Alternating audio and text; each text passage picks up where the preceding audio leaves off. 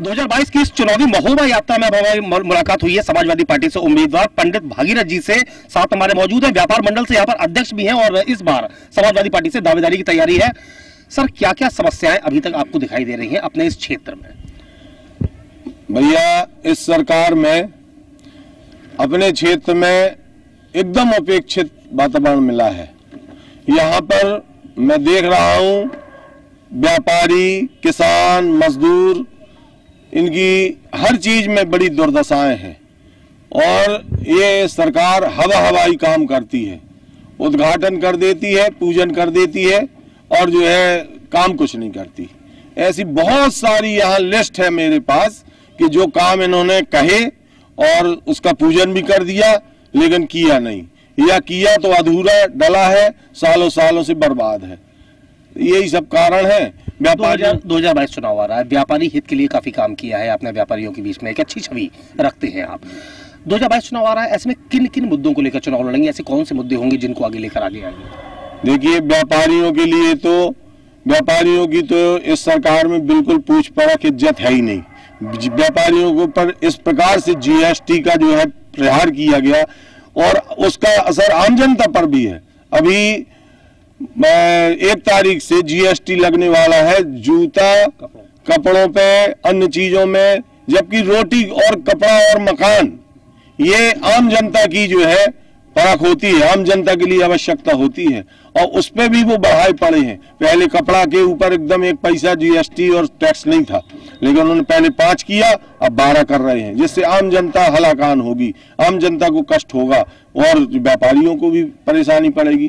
तो ये चीज़ें, अभी यहाँ बगल में ही, हमारे महोबा जिला में ही एक कबरई क्षेत्र है। कबरई क्षेत्र में बहुत बड़ा इंडस्ट्रीज़ है क्रेशर उद्योग। क्रेशर उद्योग में दस दस करोड़ पाँच पाँच करोड़ के बड़े बड़े प्लांट लगते हैं। और मैं एक दिन गया तो वहाँ इस दशा को देखा कि वो मरे पड़े हैं एकदम लाश की तरह। वो किस्त नहीं चुका पा रहे हैं। उनका, उनने जो लोन लिया है वो सब बर्बाद हो रहे हैं और जो उनके घर मकान बिकने की कगार पे हैं क्योंकि गवर्नमेंट ने ऐसी नीति अपनाई, पट्टे नहीं दिए गए उनको, और व्यापार को प्रभावित कर दिया गया, सारा व्यापार उठ के एमपी से रख गया। तो ये व्यापारियों की खिलाफ नीति में व्यापार चलती है, इसलिए व्यापारी भी दुखी है, किसान भी दुखी है। किसानों के साथ में कहते हैं कि हम दुगना कर देंगे आपकी जो है आय को। आप देखिए कि हर चीज़ किस भाव बिक रही है। किसान का आइटम मद्दा है और अन्य चीज़ें तेज हो रही हैं। डीजल है, पेट्रोल है, खाद है, बीज है, उसी में पाँच किलो कटौती भी कर दी। खाद दी? खाद में जो है उनने पाँच किलो कम करके दे दिया और रेट जो चार सौ रुपए का था, वो आठ सौ, नौ सौ, हज़ार रुपए पर पहुँचा दिया।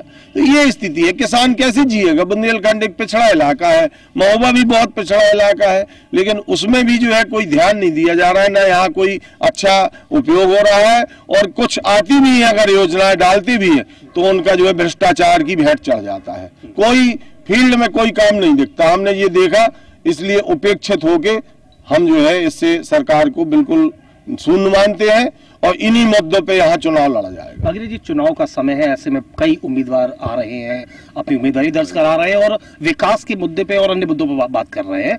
आप भी एक व्यापारी हित के मुद्दे में बात कर रहे हैं जनता से जुड़े हुए मुद्दे से बात कर रहे हैं। ऐसे में क्या अलग है? आखिर महोबा की जनता सदर की जनता आपको क्यों चुने? सदर की जनता यहाँ के जो पिछले उम्मीदवार रहे हैं या जो विधायक रहे हैं, मैं देख रहा हूँ कि कोई भी दुर्दशा में परिवर्तन नहीं दिखा। चालीस साल से मुझको देखते हुए मैं देख रहा हूँ बराबर। लेकिन महोबा जस का तस है।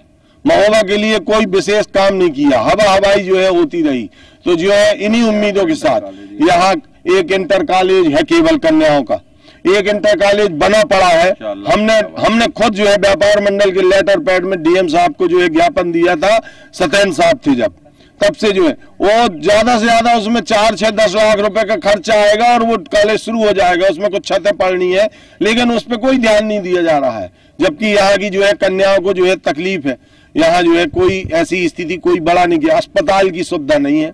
अस्पताल में देखिए आप अट्ठाईस तीस डॉक्टर की जगह केवल दस पाँच डॉक्टर हैं। अभी तीन चारों की अभी भर्ती की है।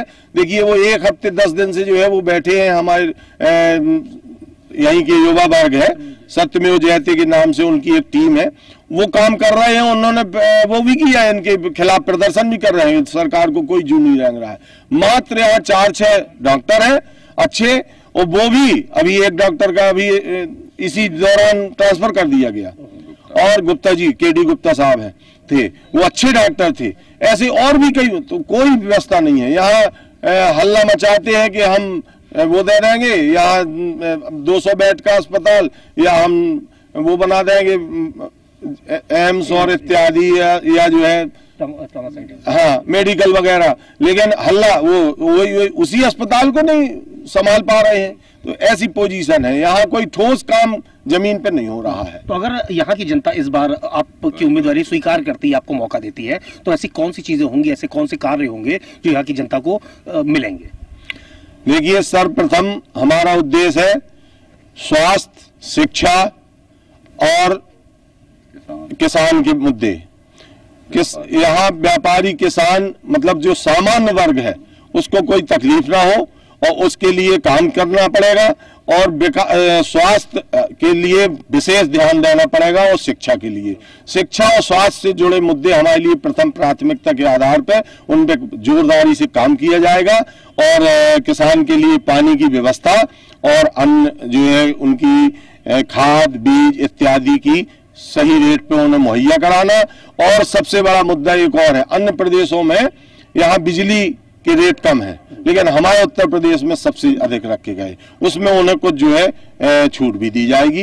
जैसे हमारे माननीय अखिलेश यादव जी ने किया, कहा भी है कि 300 यूनिट बिजली के लिए हम छोटे लोग, छोटे वर्ग के लोगों को फ्री ही रखेंगे। या जो भी, और किसानों के लिए सुविधा दी जाएगी।